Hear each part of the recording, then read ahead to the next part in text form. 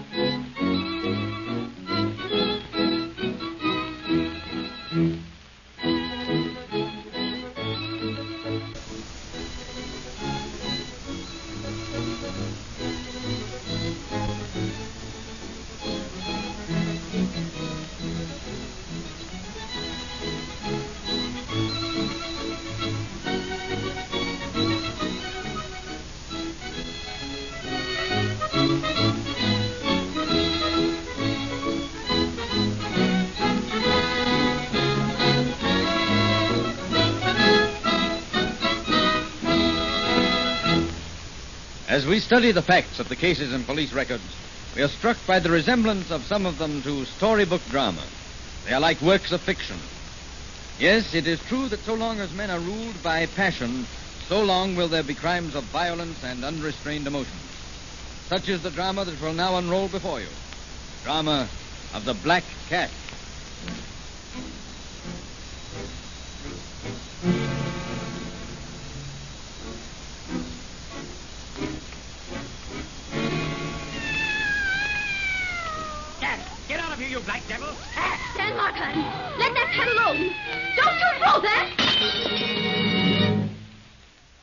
Morning of July 17th, 1932, a woman walked into the Bureau of Missing Persons in the Los Angeles Police Department. Good morning. May I do something for you? Well, I'd like to know how to go about finding a missing person. They told me in the homicide room across the hall that I'd have to come over here. Well, that depends a great deal on the circumstances surrounding the disappearance. Well, it's my sister that I'm hunting for. I'm not even sure she has disappeared. But her husband says she's just gone away for a visit. Well, doesn't he know where she is? No, he says he doesn't. You see, he's a very timid man. Sort of uh, Casper Milk Toast type, if you know what I mean. Yes, I think I do. I wouldn't want him to know that I'd made this report. It would upset him. How long has your sister been gone? Well, it's almost three months now. Three months. And you're just now questioning her? Oh, she's gone lots of times before without telling any of us where she was going. But this is the first time she's been gone so long. Well, if you'll just give me a description of your sister, we'll get out a bulletin on it. We'll let you know if we hear anything. Oh, thank you so much. I do hope nothing has happened to her.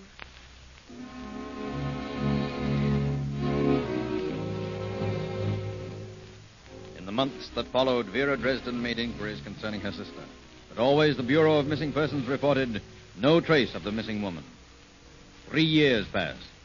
Vera has risen steadily from an extra player to bit parts in pictures, and at last has received her first important part. Hey, hey, can the chatter. I think a toast is in order. Well, it better be good. I'm just beginning to get this cowboy interested in dancing. Oh, shucks, Miss Vera. I can throw a steer a whole lot better than I can dance. You're telling me? Uh, ladies, ladies and gentlemen, let's start over. Now, dearly, dearly beloved, we're gathered here in the presence of these witnesses to do honor to a most clever and promising young actress, Vera Dresden. Uh, now, here's to the day when we celebrate Vera's first starring party. For an actress that's been promised a star's part, you surely look mighty forlorn, Miss Vera. You You ain't going moody on us, are you? No, Bud. I'm not going moody. I was just thinking about my sister. You ain't never heard from her, have you? No. Been three years now. I thought you and Dolly was pretty fond of each other. We were. I saw Dan on the street this afternoon. I brought it all back. First time I'd seen him in almost a year. Oh, Daniel's a mouse. I don't blame Dolly for walking out on him. I'd like to tell him what I think of him. Well, maybe you'll get a chance to. He always comes around to borrow money whenever he's in town. Oh, well, come on. Let's drink and be merry. Come on. Fill 'em up. Tomorrow we may disappear. Crying out loud, who's that? Quiet, quiet, everybody. Oh, it's you, Dan. Well, I was expecting you. Hmm. Greetings, my beautiful sister-in-law. May I come into your parlor? Yes, yes, come in. I'm just in the mood to tell you a few things. Well, well, well, if it ain't Daniel a lion tamer. And drunk as a lord. Well, shush my boots. The little rabbit is drunk. Yeah, I'm drunk, so what? And I ain't no rabbit. I'm a man, see? Yes, you must be. If you were half a man, you'd have my sister with you, or at least know where she is. Maybe I do, sister. Maybe I do. Oh, forget it. Come on, let's have a drink. Sure, I'll have a drink. How long Let's have you been drinking this time? What's it to you? I'll drink if I want to. I'm a human being, see, and I got rights. All my life I've been kidded and kicked around. Well, I'm a man now, see? Sure, I'll drink. Because when I drink, nobody kids me. They haven't got the nerve. Oh. on and laugh, you sap. That's all you got in your empty heads is foolish ideas. Stop twiddling your thumbs very noisy. I'll do what I please. I said stop it. There. Now that's better. Much better. Now let's have a little music. A little appropriate music, if we can find it. Because I'm going to tell you a story. What's wrong with that guy, Nut? Quiet, you. I'm going to tell you, brave people, a story. A ghost story. Oh, Be quiet. Have you ever been in an old house that creaked when the wind blew against it, huh? When the rain on the roof made a groaning noise that seemed to be a part of the damp air that made the candle flames motionless as the eyes of a ghoul? The storm had smothered every other form of light or life except hers. And there she sat, reviling me with her eyes. I think she knew I wanted to kill her, just as she had killed my soul with her hate. And reading my thoughts, she taunted and dared me with her eyes because she didn't know I'd been planning this night for months. No, she thought I was weak and spineless. Even when my hands were about her throat, she looked at me with such loathing it seemed I was being suffocated instead of her. You know I'm going to kill you now, don't you? I'll make you believe it. You can't cheat me out of the only moment I've ever been your equal. You're dying. Dying!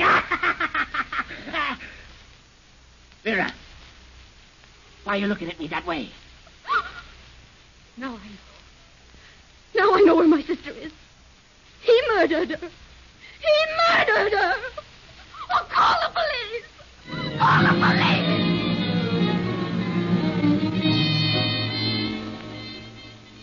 Daniel Markheim was taken into custody, lodged in the Hollywood police station. Next morning, Detective Lieutenant White and his partner Joe Page interviewed the prisoner. There he is, boys. The tamest killer I ever saw.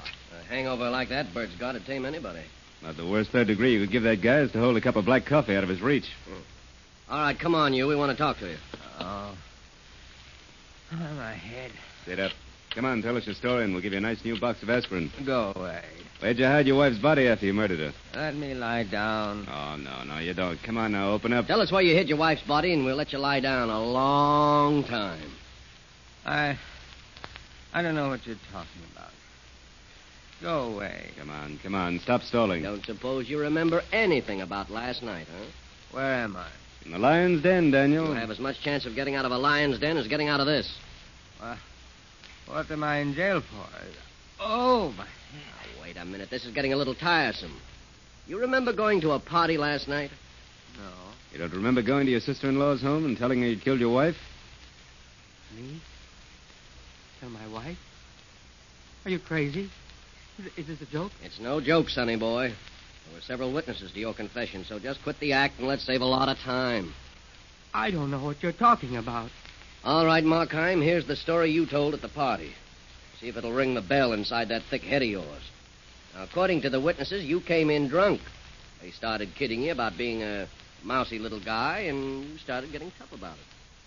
Seems like I remember something like that. And then you got the feeling brave. You decided you'd impress the gang, and you gave them all the gory details.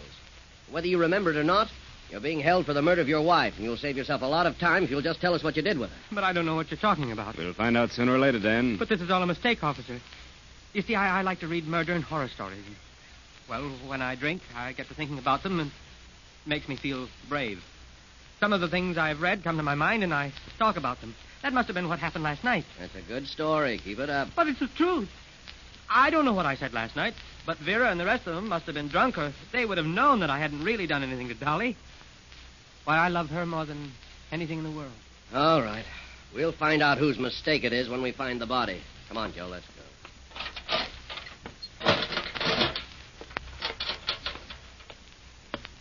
Well, what do you make of it, John? About the funniest case I've ever seen. I'll bet that little runt never takes another drink as long as he lives. You believe his story? Yes, I do. That guy is suffering from an inferiority and a frustration complex. He hmm. gets drunk to make himself believe he's a big shot and a tough guy. Yeah, take a look at this report. Now, according to this statement from the witness, this guy Markheim didn't say he killed anybody. They just put two and two together. Yes. That's about all the district attorney does. But he usually gets a conviction out of it. But if anybody had ever been found to answer to that woman's description, we'd have a record of it. That dame probably walked up with the first he-man she met, and she figured would beat her up regularly. All right, psychologist. Me, I'm just a plain cop that plays hunches. This may turn out to be a course in psychology for me, but I'm going to play my hunch to the limit. Well, what are you going to do? Let's take a run out to the place where Daniel used to live before his wife disappeared. That won't do any good. What makes you think so? Well, we haven't got any howling wind or black cat. Oh, nuts. Come on.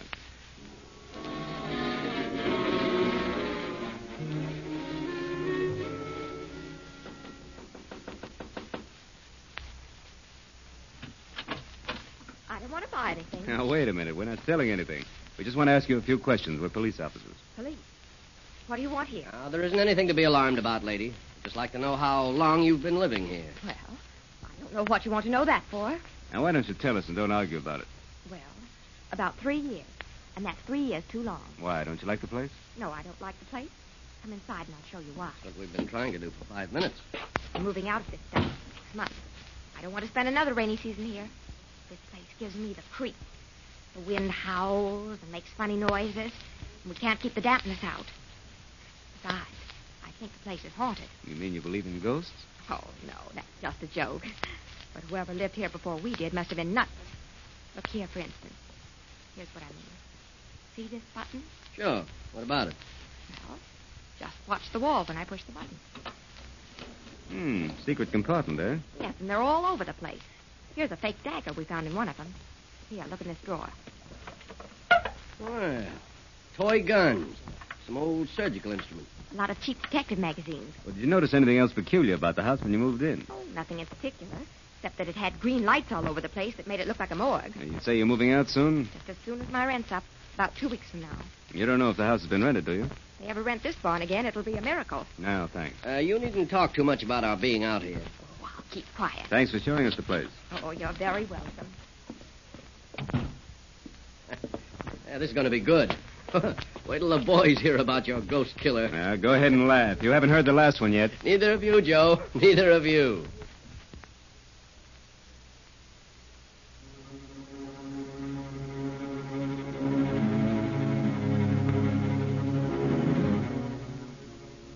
Markheim was released because of lack of evidence.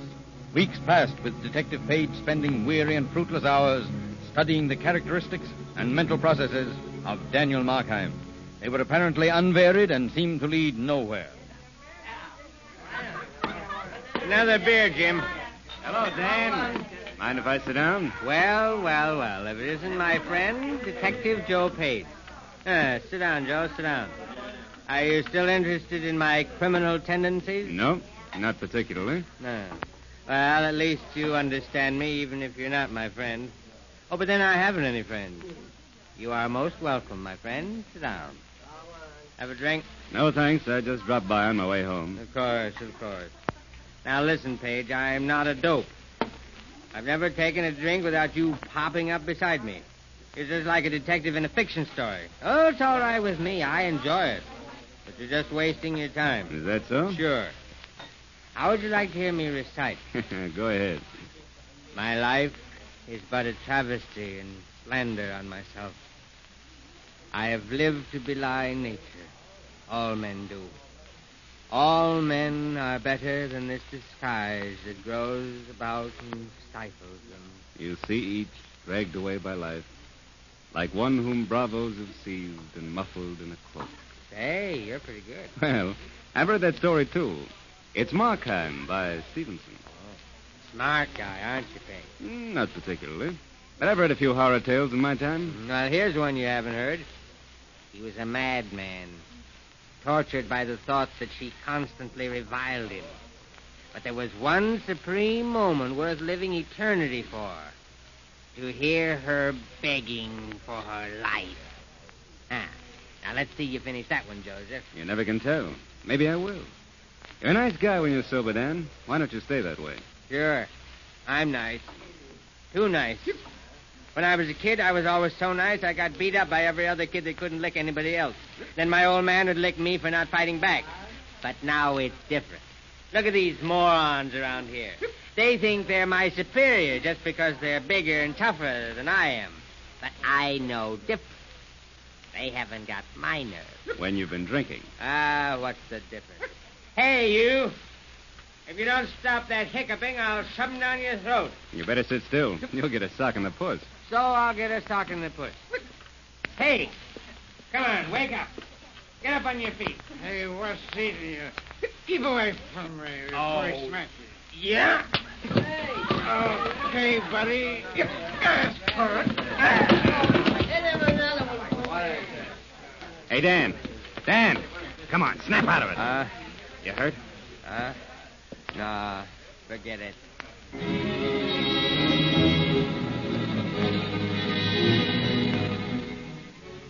Weeks went by. Other headlines grew where the story of Dan Markheim had once flourished. But the machinery of the law relentlessly ground out its investigations. Then early one morning in December, officers Page and White called at the apartment of Vera Dresden. Dresden, you're an actress, aren't you? Well, what's my opinion against so many others? Well, professionally speaking. I have hopes in that direction. I don't know and I've had a tough as case as this one of your sister's disappearance. Uh, one that I was as sure of. I think I'm right in what I figured out in this case. I'm going to need your help. In what way? Would you be willing to try a little acting experiment along with Lieutenant White here? Oh, surely. Anything I can. I understand you and your sister are twins. Yes, we were often mistaken for each other. Did she have any peculiarities? I mean, little things that might make an impression on a person. Well, I don't exactly understand you. I think Joe means was she in the habit of doing anything that might get on a person's nerves? Oh. well, as a matter of fact, she did. She used to crack her knuckles. Crack her knuckles. She'd sit sort of looking straight ahead and crack her knuckles. Like this. Well, enough of that would get anybody. Anything else? Mm, she used to whistle through her teeth. Did she do much reading? No, she did very little. She'd just sit with that faraway look in her eyes and make you wonder what she was thinking about. Hmm. I thought so. What do you mean? Nothing. Did she have any pets? Dog, cat, canary, anything like that? Mm, let me see. Yes, I believe she did. I think she had a cat. What kind of a cat? I don't remember much about it. Was it a black cat? Well, yes, yes, it was. How did you know? Uh, he's been reading a book. Have you seen that cat since your sister disappeared? Come to think of it, I don't believe I have. Are you sure you wouldn't mind putting on a little act for us? Of course not. Anything you ask. Ah, Lieutenant White here will work with you. Well, thanks a lot, Miss Dresden. We'll uh, get in touch with you later.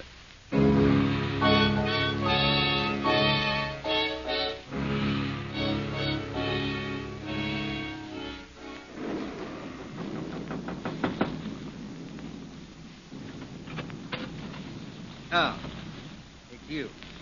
Well, come on in. At least you're somebody to talk to, and I've I've got to talk to somebody, even if it is a cop. That's what I like about you. Your friendly attitude. Found a job yet? Nope. Where do you get the money for the liquor? Hmm. I manage. Well, I've got something that might interest you. It's not a job, but knowing your queer mental quirks, I think at least you'd find it diverting. What do you mean by that? Well, I've spent a lot of evenings being entertained by you, and I thought maybe I could amuse you a little. You're not afraid, are you? Uh, well, I don't know. Ah, here's your chance to show that you're a man without being stewed to the gills. Have you got the nerve or haven't you? Sure. Why not? Well, you better get some warm clothes on. Pretty raw outside. Well, can't we wait until the storm's over? What's the matter? Losing your nerve already?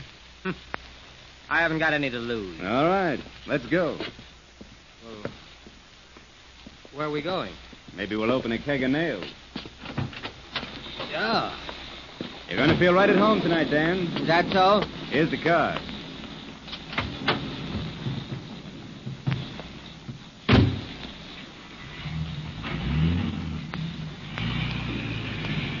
We're going to have to hurry. We'll be late. Late for what? You like mystery stories? Yes, but what's that got to do with it? Uh, I thought you might be able to help me solve one. Well, I'm not so good at solving mysteries. Maybe you never tried. I, I've tried, but I, I've never solved anything. Maybe you have. But so many people solve things the wrong way.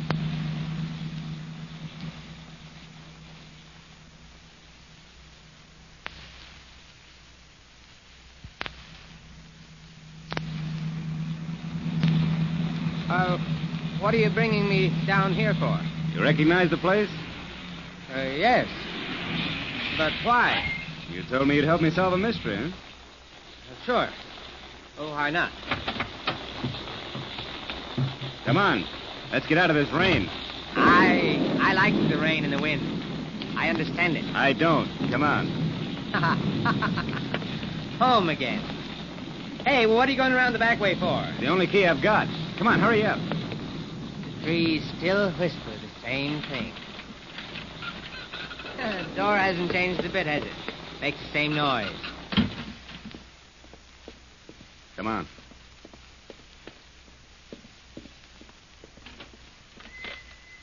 Why don't you turn on the lights? Never mind. Just listen. That whistling. It's Dolly. It's a trick. I know it's a trick. I'm sober. Not true. Keep quiet. Do you remember the sound of that rocking chair? Yeah. Uh, I used to sit in it and read. She sat over there. Her. Dolly. Will you stop that? You have to make those noises. Turn on the lights. Ah. it is. Dolly. Please don't drink anymore, Dan. Please don't. Well, why don't you get out if you don't like it? You know I can't go out on a night like this. Then stop that infernal noise. I'm reading. It bothers me. The storm drowned all noises. There was no sound that could be heard above the shrieking of the wind. You hear that? It says that right here in the book.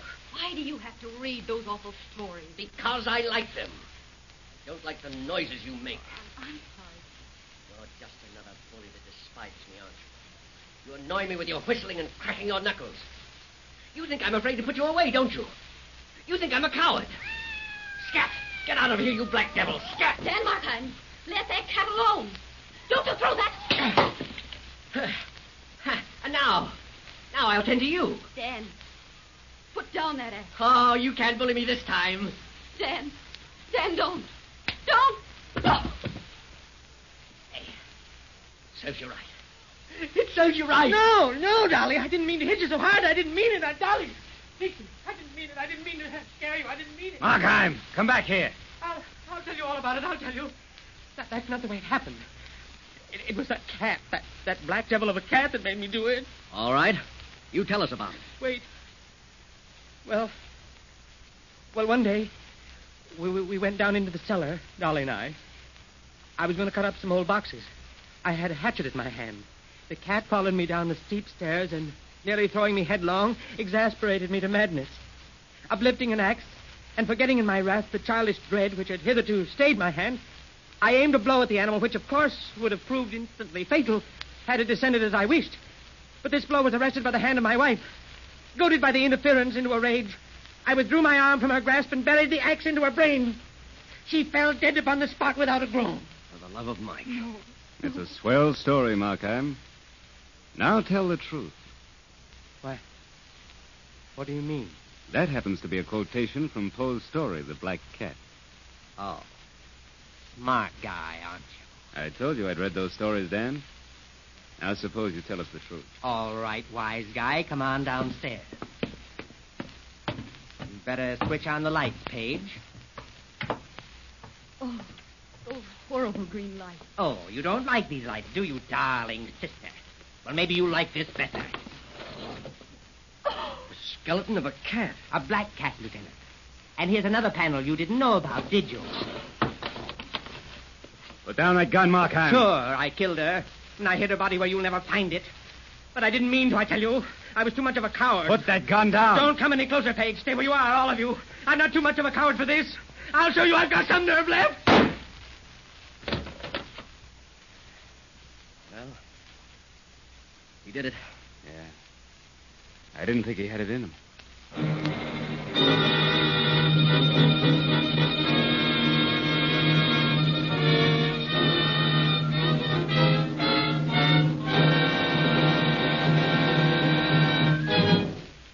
Daniel Markheim was a psychological study. He had an imaginative mind and fed it by reading horror stories. This explains why Markheim enacted an imaginative crime fabricated from stories he had read and his own vivid imagination. The truth is that he did not kill his wife. She was discovered some years later living in San Francisco. Even when committed in the imagination, crime does not pay.